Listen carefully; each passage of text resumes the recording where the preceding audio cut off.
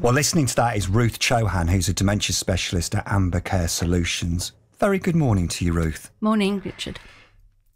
Let's talk a little bit about Jason when you hear his story there. Um, his project is he's basically obviously using his photos. Now, someone who works with people who live with dementia, and it's very much talking about it living with dementia as opposed to being a patient, because people can still live very rich and productive lives, can't Absolutely. they?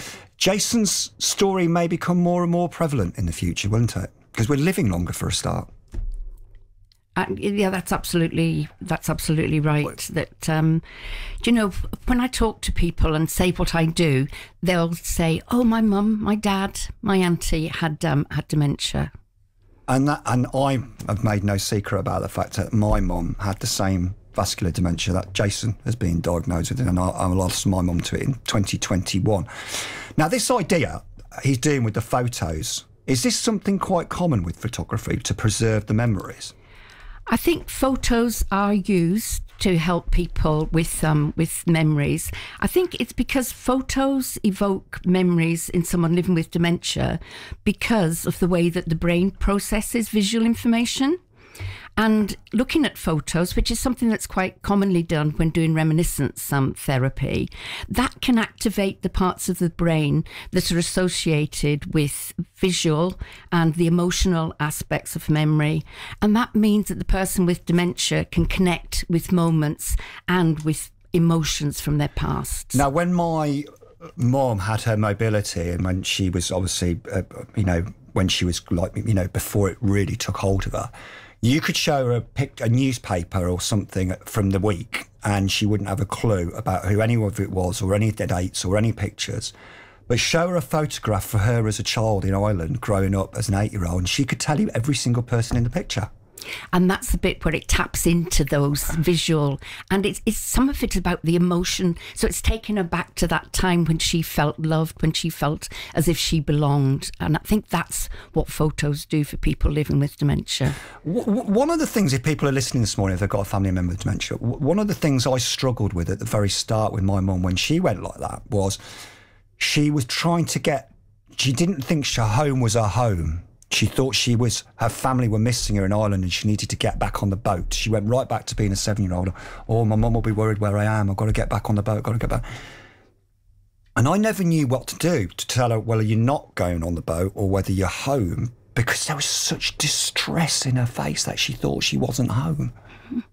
That's very, very common. But when people are with dementia are saying that I want to go home, it's not necessarily that they want to go home. They want to go to that that place. It's more about the feeling that they they want to be loved. They want to feel secure. So it's that sense of security, and that's what a person who's caring for somebody with some dementia can actually provide. That so. It, it's you should never you should enter their world so live That's in right. their reality that that's it really and learning the way that you can do that And I think we learned that we learned as a family that that's the way to do it. You have to basically look at it and put think some things to a side. And so if they say we want to go home, we want to go home.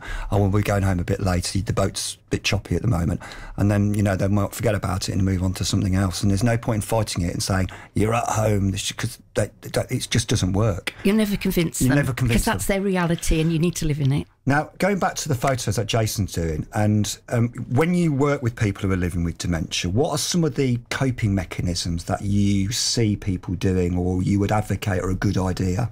Well, I think um, Jason he mentioned them, didn't it? He's got a Dosette box. That's a little box where it's got the tells you which time you need to take your your tablets with. So those are a really good thing.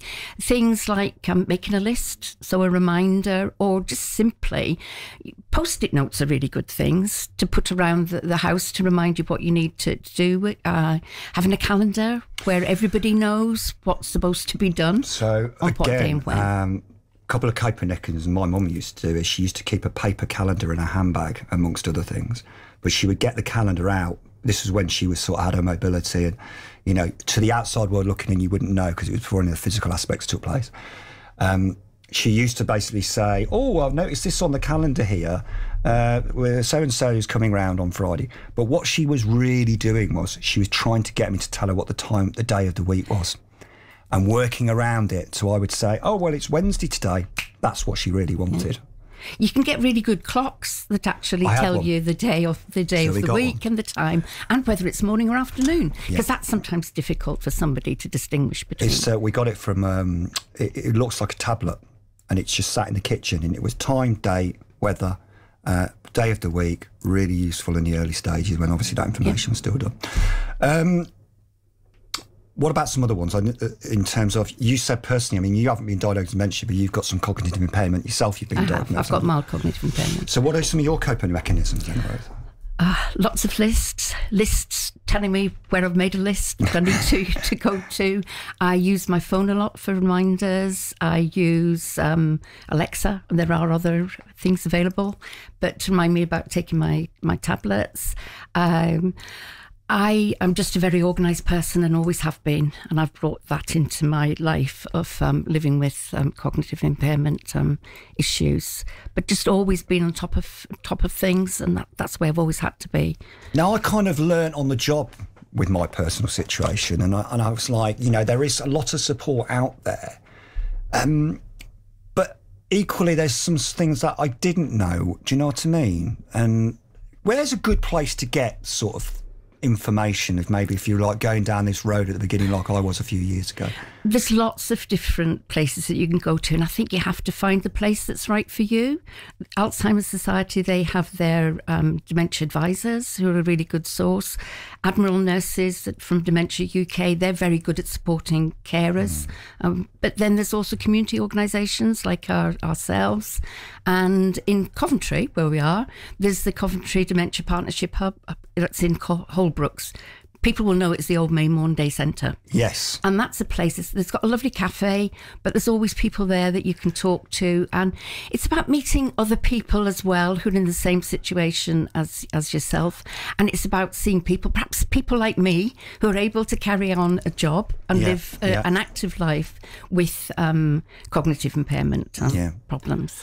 What, what I tell you, one of the things was getting that diagnosis, and it was really tough to get my mum to go through to do that. We actually had to basically tell a fib and say, "Oh, you can't have your driving license back until you've done this test," because she just flat didn't want to acknowledge it. But getting the diagnosis formally, boy, was that a good thing to do because that opens up whole new avenues of support mechanisms that you're entitled to as a family with that formal diagnosis. My advice is, as much as it's difficult, do it. Don't you think? No, that that's absolutely true. But I, I also think that it's difficult for people to actually accept that perhaps there are issues with, Yeah. with their memory. Yeah. And I, I think it's uh, quiet conversations with and and not being judgmental and not saying you've got to go to to the doctors, Yeah. but just trying to show to them that there may be, may be issues there. And I, I think that sometimes it, I, I don't think it's right to, to tell lies to, to people of why you're going to um, do something. And, and maybe people think that is what the only thing that they're able to, to do. But there are other things. So you could suggest things like maybe both of us could go and have a health check and we could go and see the doctor for that, and then the topic can can come up um, there. But it's just being able to talk openly about the issues that there are. But at the end of the day, people have autonomy, Yeah, yeah. and it's their decision. And they've still, they've still got their free, the make- free will, haven't they? They have, they the have. But I think what you strong, said. strong Irish woman, you know, so that Yeah. never went. That never went. No. I think what you were saying though about the benefits of going that that's something that that can be put across. Yeah. And also, as well, I mean, um, one of the other things which I thought was really useful is what is, is with going back to the photos, she would keep them all in her handbag and she would write down the names of everyone on the photos. And that was a really useful way for her to be able to still engage in contact. That, that's something that really worked for her. So if you knew so and so was coming, she could get the photo out, see the picture of them, and then know that that person. And it sort of kicked in on the short term memory for that time she needed it to do. I think that photos are also very good for maintaining a sense of identity for um, for people. And I always say that um, when you get the diagnosis of dementia, that's the time when you should start building that life story. So putting together things like photographs, things that you like to do, so that then when you are at the point when you're not able to communicate very well with people, you've got that there that you can share with them. They know who you are Yeah. because you never lose who you are. I'm still Ruth. I'm still me. Yeah. And that's the same for anybody that's living with dementia. And we like you just the way you are, Ruth.